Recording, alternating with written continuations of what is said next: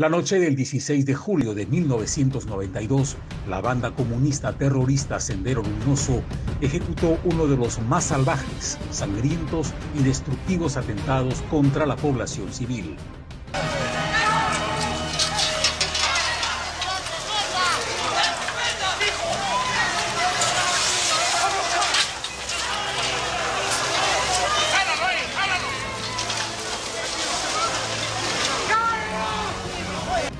Terroristas detonaron dos coches bomba cargados con 500 kilos de anfo y dinamita en la pasible calle Tarata del distrito de Miraflores.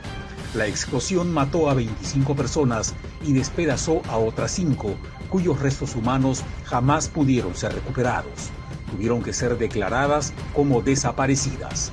El estallido, además, dejó 250 heridos, 360 damnificados y generó pérdidas materiales calculadas en 3 millones de dólares de la época. La onda expansiva de los coches bomba destruyó todo en un radio de 400 metros a la redonda. Casas, departamentos, edificios, negocios, todo quedó en escombros. Los carros convertidos en fierros retorcidos. Las mortales cargas explosivas también provocaron un incendio Cadáveres, cuerpos calcinados y agonizantes quedaron regados en el asfalto. La crueldad y premeditación de este destructivo y sangriento